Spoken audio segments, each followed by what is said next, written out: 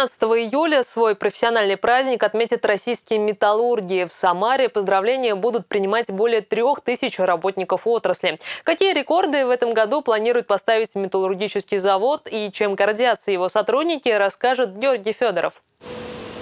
220 тысяч тонн продукции выпустит в этом году Самарский металлургический завод. Таких рекордных объемов у предприятия не было почти 25 лет. Продукция завода используется при строительстве космических кораблей, самолетов, морских и речных судов, автомобилей, но основным заказчиком сегодня является упаковочная промышленность. Покупая в магазинах напитки в алюминиевых банках, помните, что к созданию каждой из них приложили руку самарские металлурги.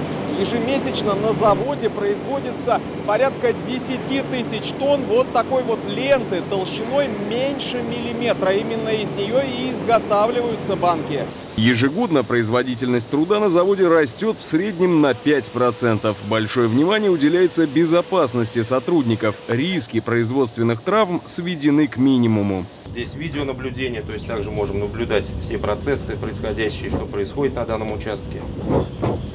Ну, фактически работы все автоматизированы и управление тоже. Да, да, линия У вас э, контроль за параметрами, да? За параметрами, да, отмотка рулонов, также бракованных концов, то есть, в принципе... То есть, если здесь есть индикация какой-то нештатной ситуации... Да, все сигнализируется, существует система пожаротушения, также здесь все у нас находится под э, замками. У нас э, есть все средства защиты, как органов дыхания, слух и зрения, но вы сами уже смогли, наверное, убедиться в этом. А, экологии отводятся самые высокие, скажем так, требования. Мы сейчас производим модернизацию наших очистных сооружений, куда вкладываются большие деньги, и это будет э, самые современные очистные сооружения. В текущем году предприятие инвестирует в собственное развитие более 600 миллионов рублей. В следующем сумма как минимум удвоится. Растут не только инвестиции, но и вес самой востребованной продукции. Еще в 2009-2010 году мы, рулоны у нас весили 6-8 тонн. В этом году мы, мы с вами произвели первый раз 20-тонный рулон. Я думаю, что во втором полугодии мы начнем серийно выпускать 20-тонные рулоны.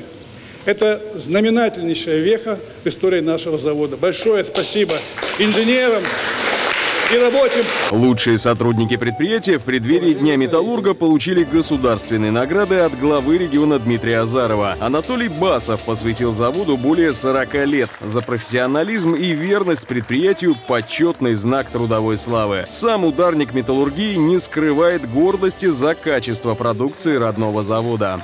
Вы сами, наверное, в магазинах покупаете тоже свою продукцию, ну, которая... Даже, даже с, профессиональным, с профессиональным интересом, как бы смотришь, если что-то там такое, недочеты какие-то, присматриваешься, но пока не замечал.